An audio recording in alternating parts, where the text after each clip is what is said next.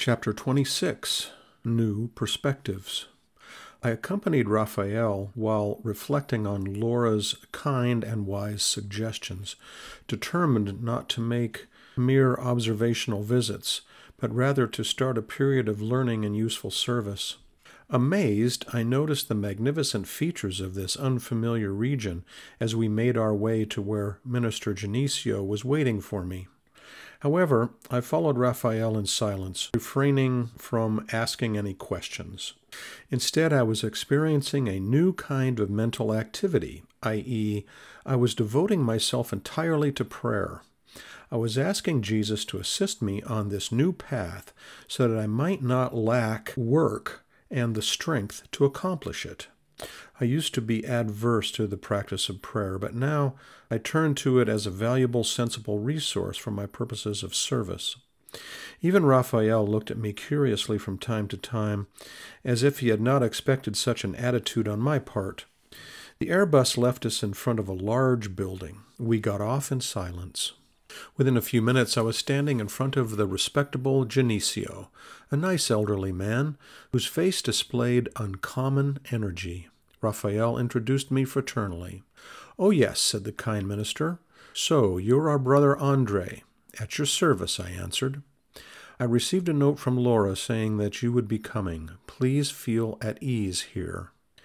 Meanwhile, my companion respectfully said goodbye to the minister and then embraced me. Raphael was urgently expected at his duties in his own department. Setting his bright eyes on me, Genesio began, Clarencio has already told me about you and showed a great deal of interest. We often receive personnel from the Ministry of Assistance on observational visits, which usually become periods of service. I understood his subtle allusion and remarked, That is my greatest desire. I have even prayed to the divine forces to assist my feeble spirit so that my stay in this ministry might turn into a period of internship. Genesio seemed pleased, and availing myself of inspirations that inclined me to humility, I begged with moist eyes, Minister, I can see that my coming here via the Ministry of Assistance came about exclusively because of the mercy of the Most High. Perhaps in answer to the constant intercession of my devoted and holy mother. I've noticed, however, that I have only been receiving benefits without producing anything useful in return.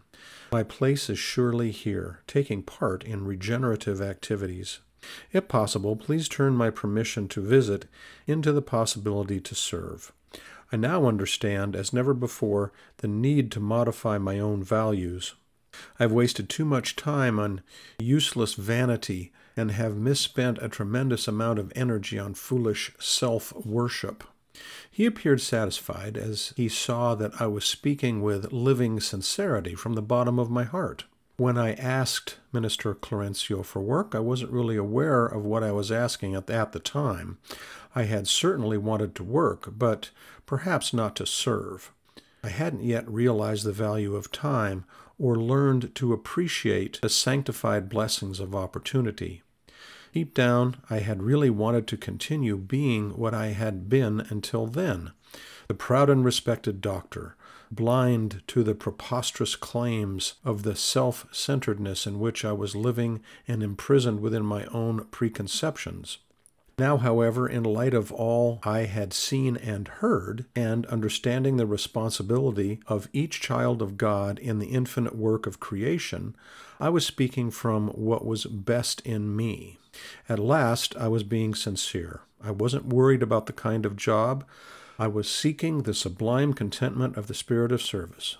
Genesio seemed surprised as he looked at me and asked, Were you really a doctor?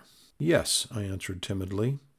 He was silent for a few moments, as if searching for a solution to my case. Then he said, Your aims are praiseworthy, and I ask the Lord to preserve you in such an honorable attitude. And as if concerned about cheering me up and lifting my spirits with new hope, he added, When the disciple is ready, the Father sends the Master. The same applies regarding labor. When the worker is ready, work will appear. My friend, you have received enormous resources from divine providence. You are willing to cooperate, you understand your responsibility, and you have accepted your duty. Such an attitude is undoubtedly favorable for you to accomplish your desires. In physical circles, we used to congratulate the person who attained financial prosperity or an outstanding position. Here, however, the situation is different. We value understanding, self effort, and sincere humility. Noticing my anxiety, he concluded, It's possible for you to find a good occupation here, but for the time being, it is better for you to visit, to observe, and to study. Then he contacted the office next door, saying firmly, I would like to see Tobias before he goes to the chambers of rectification. A few moments later, a gentleman with a pleasant demeanor came into the room. Tobias, explained Genesio, here is a friend who has come from the Ministry of Assistance in order to observe. I believe a visit to the chambers of rectification would be greatly beneficial. I shook his hand, and my new friend answered kindly, At your service. Show him the way, continued the minister with great kindness.